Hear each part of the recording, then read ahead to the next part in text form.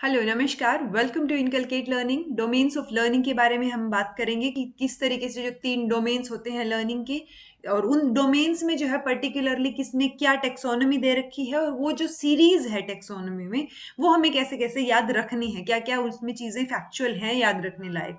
So this is presented by me Raveena अगर आपको videos informative लग रही हैं तो लाइक शेयर और सब्सक्राइब जो आप इनकलकेट लर्निंग को कर सकते हैं। थ्री डोमेन्स ऑफ़ लर्निंग के हम पढ़ते हैं कोगेनेटिव डोमेन अफेक्टिव डोमेन और साइकोमोटर डोमेन हमें पता है कोगेनेटिव डोमेन यानी संज्ञानात्मक लेवल पे जो चीज़ें हैं, वो थिंकिंग से रिलेटेड होंगी अफेक्टिव में फीलिंग से रिलेटेड और साइकोमोटर में एक्शन बेस्ड या फ़िज़िकल लेवल पे जो चीज़ें हैं। अब कोगेनेटिव में याद रखने की है कि छह कैटेगरीज हैं, यानी छह one two one two six जो है वो टेक्सोनमी है। अफेक्टिव में फाइव कैटेगरीज हैं साइकोमोटर में भी फाइव कैटेगरीज अब ये क्या क्या हैं? अब देखिए जो कोगेनेटिव लेवल पे है, वो ब्लूम की टेक्सोनमी को बोला जाता है कि ब्लूम की टेक्सोनमी किसके हायरारिकल ऑर्डर को दिखाती है? कोगेनेटिव स्किल्स को, जो कि टीचर्स को सिखाने में और बच्चों को सीखने में स्टूडेंट्स को सीखने में हेल्प करती है।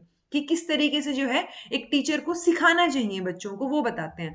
कोगनेटिव डोमेन में छह कैटेगरीज होंगी ये किसने दी थी? एंडरसन और क्रैथोल ने। अब आपको कंफ्यूज नहीं होना है कि यहाँ पे मैंने एंडरसन और क्रैथोल लिख दिया और यहाँ ब्लूम टेक्सोनोमी बोल दिया।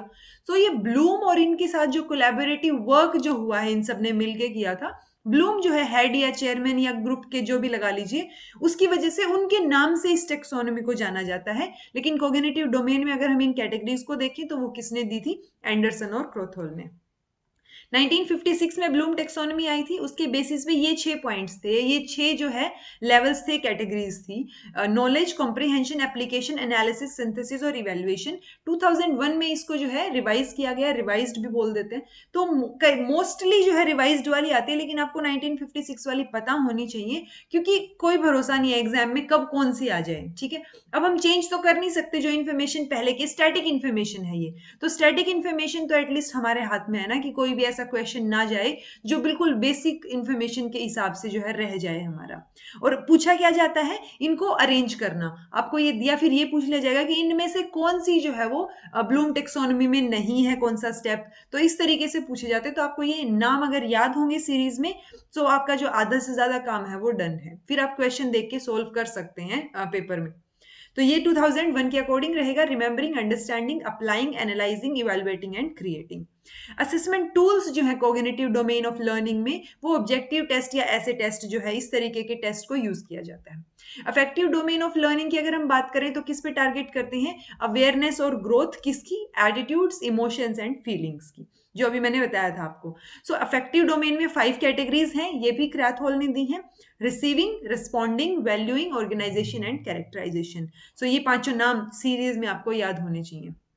असेसमेंट टूल्स क्या रहेंगे अफेक्टिव डोमेन में?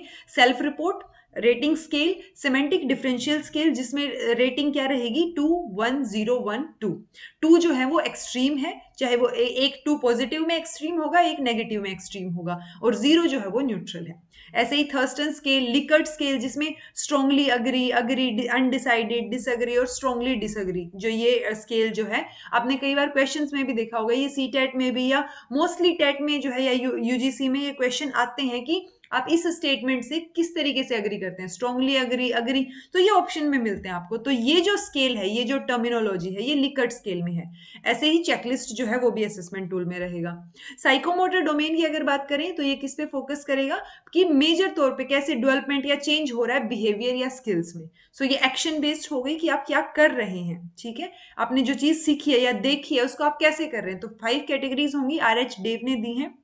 इमिटेट इमिटेट करके जैसे बचपन में बच्चा सीखता है ना, वहाँ से शुरू होता है। इमिटेट मैनिपुलेट प्रिसीजन आर्टिकुलेशन और नेचुरलाइजेशन सो ये पाँचों के पाँचों स्टेप्स आपको याद होने चाहिए। यानी कि आपको इसमें डोमेन ऑफ़ लर्निंग में तीन जो है आर एच डेव क्रोथल और जो है ब्लूम टेक्सोनमी इनके जो छह पाँच पाँच, ये जो कैटेगरीज हैं, ये आपको याद रखनी है। इसी सीरीज़ में याद रखनी है। क्योंकि कई बार पूछ लिया जाता है कि हाइएस्ट कौन सी है या लोवेस्ट मोड पे कौन सी है? सो वो आपको पता होनी चाहिए कि सब सबसे नीचे से कौन सी है इमिटेट से शुरू होकर नेचुरलाइजेशन तक है।